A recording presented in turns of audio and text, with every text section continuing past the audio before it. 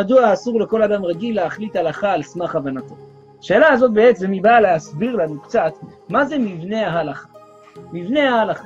מבנה ההלכה, כשאדם בא רוצה לדעת הלכה, הוא צריך לדעת קודם כל איך הלכה מגיעה לעולם. זה לא מה שנראה לי, יש אנשים חושבים הרבנים האלה ממציאים מה בא להם.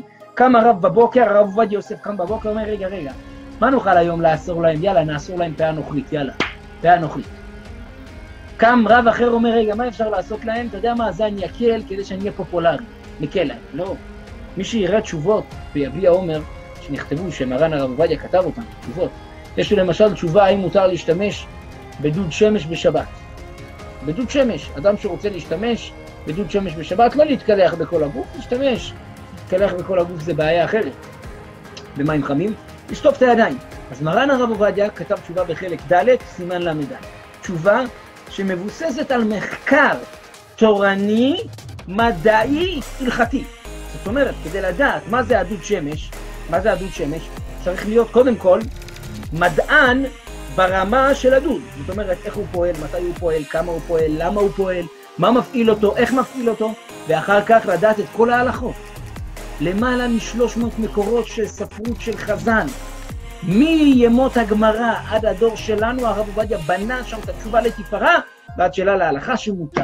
היו כאלה רבנים שלא רצו להתעסק, אמרו אנחנו מחמירים, לא נתעסק בזה, סתם להחמיר. הרב עובדיה חלק עליהם, אל תחמיר סתם, תבוא ותבנה את ההלכה. לכן, אדם לא יכול לבוא ולהגיד מה נראה לי, לפי מה שלמדתי. כדי להיות פוסק הלכה, צריך לבוא וללמוד ולדעת כל כך הרבה, כל כך הרבה, יש ארבעה חלקי שולחן ערוך. חלק אורח חיים. אורח חיים זה מלמד כל הלכות שבת, כל ההלכות של החגים, השכמת אדם בבוקר, הלכות תפילין, הלכות ציצית, זה אורח חיים, הרגילות שלך, מה אתה צריך לעשות בחיים. יש חלק אחר שנקרא יורה דעה, זה כל ההלכות שהן לא הכי מצויות, אבל הן גם עדיין מאוד מצויות, כמו בשר בחלב, כשרויות, נבלות וטרפות, שחיטה, בר מינן אבלות, ביקור חולים, כל ההלכות האלו, עוד חלק שלם.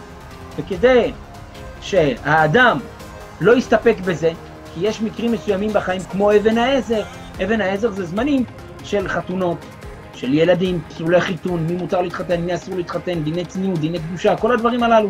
זה אבן העזר. יש חושי משפט, דינים של ממונות בין אחד לשני. כדי שתבינו, למשל, אני אראה לכם דוגמה. זה חלק אורח חיים, שולחן ערוך אורח חיים, תראו איזה יפה. וזה חלק אחד משלוש. אני אפתח לכם אותו עכשיו בפנים, רק כדי שתראו את הכתב ותבינו כמה צריך ללמוד. הנה, פה למשל, אם תשימו לב, אנחנו פתחנו בהלכות פסח. כן, אז פה כתוב הסימן, כתוב אורח חיים, תמ"ח, הלכות פסח. פה זה השולחן ערוך, זה הנושאים, נושא כלים, מגן אברהם, תז, ועוד מפרשים, שערי תשובה, בהרי היטב. וכשאדם רוצה לפסוק הלכה, אתה חייב ללמוד את כל הפוסקים שדיברו על הנושא הזה לפניך. אם אתה לא תלמוד את כל הפוסקים שדיברו על הנושא הזה לפניך, מי אמר שאתה במוח שלך יכול להבין ולדעת, אולי הם כבר אמרו משהו אחר. וזה לא כמו עולם המדע, שהיום מדענים אומרים, המדענים הקודמים בלבלו את המוח, פעם חשבו שהעולם ישר, היום אנחנו יודעים איך העולם, לא. בתורה אנחנו יוצאים קודם כל מנקודת הנחה של ענווה, שאנחנו, לעומת הראשונים, עפר ואפר. אם ראשונים כמלאכים, אנו כבני אדם. אם הראשונים כבני אדם, אנו כחמורים. דיבר על זה הגאון בן איש חי לפני כ-120 שנה, רבי יוסף חיים מבבל, הוא אמר, אם אתה מחשיב שהראשונים הם מלאכים, אז אתה בן אדם. אבל אם אתה חושב שהם בני אדם יכולים לטעות, ומה, וטעות, ואני נראה לי לחלוק על, ה, על מפרשים לפני 700 שנה, אתה חמור, אתה לא מבין. זה הסיבה שאדם לא יכול להחליט הלכה על סמך הבנתו.